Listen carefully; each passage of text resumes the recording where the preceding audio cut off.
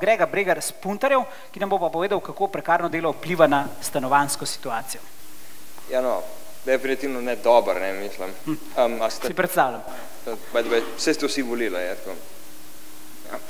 Anyway, um, pač, eh, prvo kot prvo, ne, vlada bi lahko umejila uh, nekaj postavljeno zgornjo mejo, ne, uh, kar se tiče teh najmnin, ker to je pač tako malo nemogoče že počas, ne.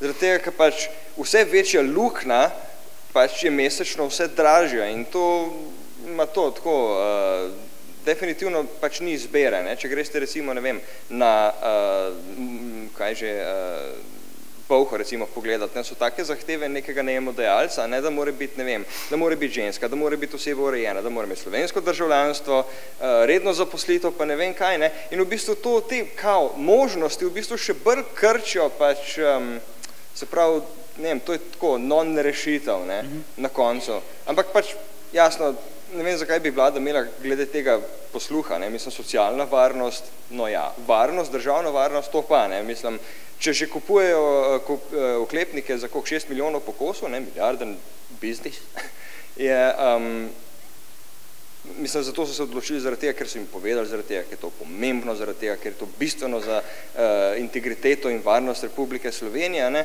socialna varnost pa tist, ja, se bojo mladi že sami znajdali, ne, na mladih svet stoji, na čem stojijo mladi, ne vem, ampak um, Pa kaj imajo nad glavo, ne? Kakšno Ja, stoji? ne, odločanje tudi te vlade ni nekaj tako, kar bi se, ne vem, kar bi, kar bi voljivcem nadejali, da, se, da bo kao vse v redu. Ma ne bo v redu, ne, zaradi tega, ker, um, ne, z, z, ker jim nekdo reče, da morajo nekaj narediti, to ja, ne, gremo prispevati svoj delež v neko skupno, ne vem, nek, nek, nek, nek, delček potiške za tisto, ne vem, varnost, NATO, karkoli že, ne, um, Potem pa tako čist brez veze, ampak vse, ne, pač polet bomo šli verjetno leta 2019, ne bomo več predstavljali ur, ne bomo imeli samo eno, en čas, skupni evropski čas, zaradi tega, ker pač predstavljanje ur je iz časa vrčevanja švečam brez veze. Ne. In so sprašvali članice Evropske unije, kjer čas bi raj poletnega ali zimskega, ki je prišlo do Slovenije. Slovenija je rekla pač, da se še niso odločili, da bojo počakali, ne, kaj bojo drugi rekli, tako da, ej, če se tega ne Če se ne znajo- moramo odločiti glede časovnega pasu, kako se bo vlada še glede Ja, česa točno to, ja. Super. Hvala lepa, Grega Bregar s Puntarjev.